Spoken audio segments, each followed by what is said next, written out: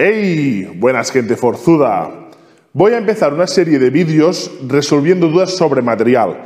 Y es que es bastante común en mis vídeos, tanto de aquí de YouTube como de Instagram, que me hagáis preguntas sobre el material. Sobre todo de Strongman. ¿Qué materiales usar? Las medidas, eh, tipos de agarre, si grafilado, si pintado, o sea, más o menos todo esto, consejos sobre fabricación y luego también algunas preguntas sobre accesorios y sobre material de powerlifting. Me lo preguntáis a mí, pero también se lo preguntáis a otros compañeros. Cuando veo algún vídeo, me fijo en los comentarios y siempre salen más o menos las mismas dudas sobre el material. Así es que podéis usar este vídeo para hacerme todas las preguntas sobre el material que tengáis y poco a poco yo iré haciendo recopilaciones de preguntas para ir resolviendo. Cogeré las preguntas de este vídeo, preguntas que tengo en otros vídeos, preguntas que me llegan por Instagram y así iré sacando la serie esta de vídeos sobre material. Hoy voy a resolver las dudas sobre la Axel Bar. El otro día en Instagram publiqué un vídeo haciendo hombros con Axel Bar y la verdad es que mucha gente tenía dudas sobre esta barra. ¿Qué es esta barra? ¿Para qué se usa? Y hoy, aprovechando que estoy aquí en el gimnasio y que me ha llegado un nuevo banco para entrenar, la responderé. Primero que nada, vamos a montar el banco y ya sabéis que toca música de cámara rápida.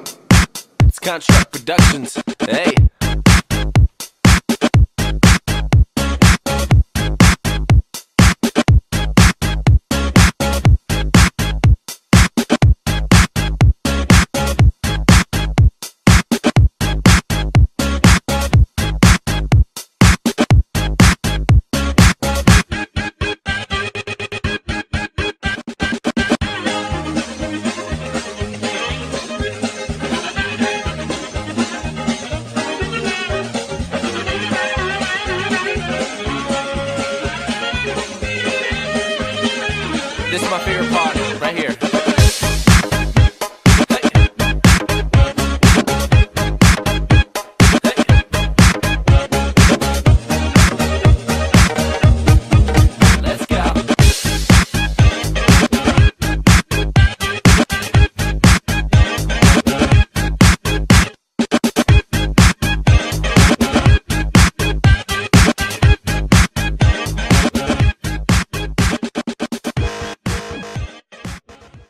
Vamos a hacerle la prueba de resistencia.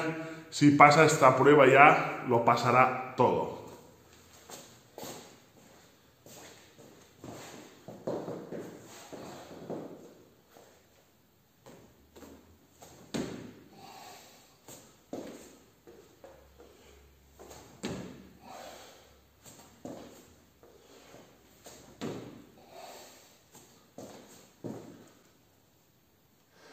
Pues ya tenemos el banco montado, ya lo veis, súper robusto, ha aguantado un Strongman de 165 kilos botando encima de él. Y bueno, muy contento la verdad. Eh, son medidas IPF, o sea que eh, es la misma medida que usan casi todas las competiciones para, para, para, competir y entonces pues bueno, no tener el problema de es más alto, es más bajo, no sé qué, no estoy cómodo, con lo cual con este banco ya será perfecto. Tiene un acolchado que me gusta bastante, o sea, está acolchado, pero es bastante duro. Me, gusta la, dureza esta del, banco, que no te hundas cada vez que te tumbas. Y bueno, por fin mis escápulas las podré bloquear aquí, porque con los otros bancos que tengo, eh, la verdad es que no estaba cómodo y no podía terminar de coger bien la posición. Y nada, aquí detrás veis los otros bancos que la verdad se lo están mirando con buenos ojos porque por fin dejaré de usarlos la verdad es que cada vez que los uso, los gritos de clemencia son terribles. De... Así es que a partir de ahora, este banco será mi banco oficial.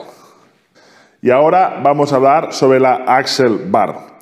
Axel Bar, Axel Press, barra Polón, Press Apolón, todo es lo mismo, os lo podéis encontrar de diferente forma. Dicen que Apolón era un forzudo francés y en una apuesta cogió un eje de tren y lo levantó por encima de la cabeza, o sea, haciendo el press militar con ese eje. De ahí la barra Axel. El press Apolón sería la forma de hacerlo con una barra más ancha que la barra normal y eh, la barra Axel sería la barra. Por este motivo os lo podéis encontrar de cualquier forma. Press Axel, eh, barra axel, barra polón, presa polón, pero es todo lo mismo. Entonces, sabiendo esto, ya descubrimos qué es la barra. Es una barra como una olímpica, con la diferencia que tiene el agarre mucho más ancho. Ahora os haré un primer plano de las dos barras y vosotros veréis que es bastante más ancho. ¿Qué diámetro tiene que ser? Pues bien, hay un montón de diámetros. Eh, yo he usado desde 68, 70 hasta 58, que es, creo que es más o menos esta de aquí. Entonces, pues bueno, aquí cada uno, cada marca, cada competición, si os la encontráis en competición, os, os debe decir las especificaciones antes de la competición o antes de comprarla para que os hagáis una idea del diámetro que tiene. Fijaros, esto es la vara normal, ¿vale? Cuando yo cojo, cierro y me cierra toda la mano y, puedo usar el hook grip. ¿Vale? Si nos vamos a la axle bar, esta de aquí, ¿vale? Fijaros, no me llegan ni a tocar los dedos. Ahora que habéis visto la diferencia entre las dos barras, entenderéis la dificultad de usar esta. Al tener un agarre mucho más ancho, eh, dificulta bastante el ejercicio. Se suele usar eh, en Strongman más que nada, hay una prueba específica que es el, press axel o el press apolón, que bueno, que se, se hace press militar por encima de la cabeza, con la dificultad que la barra sale desde el suelo. Obviamente, con un agarre tan ancho no puedes hacer un clean normal como en alterofilia.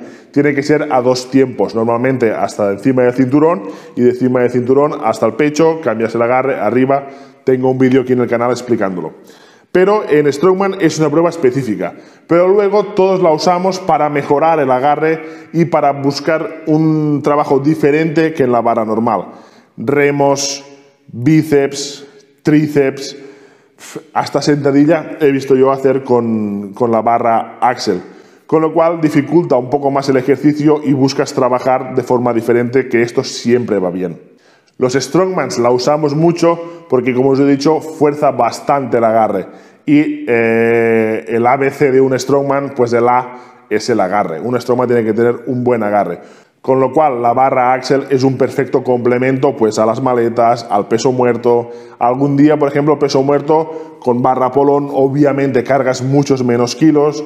Algún día los remos pues, con la barra polón, cargas menos kilos, fuerzas más el brazo y te ayuda a tener un mejor agarre. Así es que la Axel Bar es un muy buen complemento para hacer todos esos ejercicios que ya os he comentado. ¿Qué tenéis que tener en cuenta a la hora de escoger una barra Axel? Lo primero que tenéis que tener en cuenta es la zona donde metéis los discos, que sea del diámetro que, tenéis los discos, o sea, no, no, cojáis un diámetro olímpico como es esta si tenéis los discos de agujero pequeño.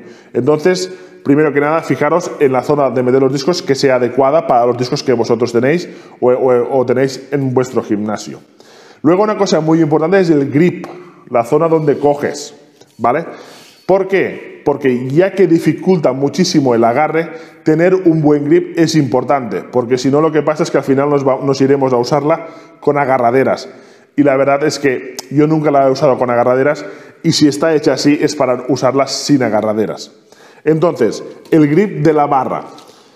Hay varios tipos de grip, hay que vienen sin ningún tipo de grip, totalmente pintadas, lisas, hay que vienen con un grip de barra olímpica normal, hay que vienen con un grip de barra olímpica exagerado y hay que vienen como esta, que es una pintura texturizada, que lo que hace es que mm, no tiene un grip como el mejor grip, como el mejor grafilado de barra, sino que está entre medias, está en medio de liso y grafilado. ¿Por qué me gusta a mí este tipo de, agarre? La verdad es que cuando vamos a competir no sabemos qué barra nos vamos a encontrar. Y esta barra está tan lejos de un buen grip como de un mal grip. Entonces está en medio. ¿Qué quiere decir? Que si yo voy a competir y me encuentro una barra lisa, pues habiendo entrenado con esta barra no estaré tan lejos de aquel grip. No, digamos, no será tan diferente. O si me voy a competir y hay un grafilado en la barra perfecto, pues mejor aún. Yo estaré acostumbrado a entrenar con un grip un poco por debajo del que voy a competir, con lo cual puedo salir beneficiado. Esto ya es a gustos. Hay gente que le gusta un grafilado fuerte, hay gente que le duele el grafilado en las manos y busca un grafilado más fino, pero sí que os tenéis que fijar en, el tema del grip.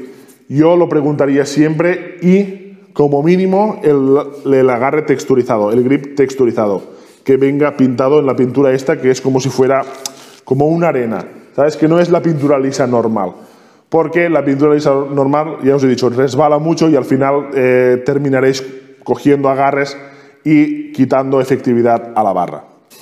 Esto sería un grafilado normal de barra, ¿vale? Un grafilado normal de barra. Esta sería la, eh, digamos, la texturizada, la pintura texturizada, ¿vale? Vemos que es, aquí a la contraluz se ve como un poco rugoso, y aquí en esta barra podríamos ver lo que es la barra pintada normal, con pintura. ¿Vale? Esto es totalmente liso y resbala. Y luego también la medida de la barra, que sea por lo menos de 2 metros. Porque si eh, es más pequeña a la hora de hacer según qué ejercicio, viene mal coger algo tan, tan estrecho. Imaginaos que esta barra fuese así, como es una barra que tienes que trabajar pues apoyándotela y todo esto, la verdad es que, sobre todo para hacer la prueba de Strongman, como más grande mejor. Como más grande mejor. Y una cosa importante también, más que nada si va a estar en un gimnasio o la va a tener que usar más de una persona, es el peso de ella. Hay barras que son totalmente macizas y solas ya se van a los 50, 40, 60 kilos, solo la barra. Entonces, obviamente, eh, una barra, esta barra no la podrá usar todo el mundo. Esta en concreto es hueca de dentro, ¿vale? Y pesa aproximadamente unos 7 kilos. Con lo cual, más o menos toda la gente puede realizar todos los ejercicios que quiera con esta barra. Por ejemplo, un principiante podría hacer remo con esta barra sin meter discos y una persona más avanzada, pues hasta que no le quepan los discos en la barra.